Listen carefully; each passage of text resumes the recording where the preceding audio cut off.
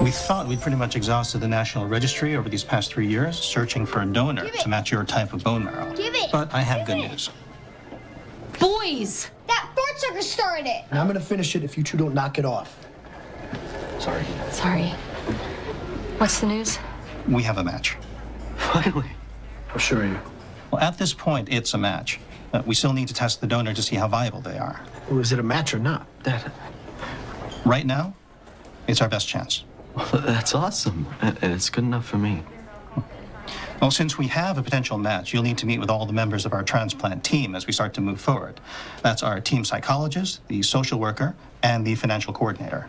Well, How, how much is a transplant? Anywhere from one to two hundred thousand dollars.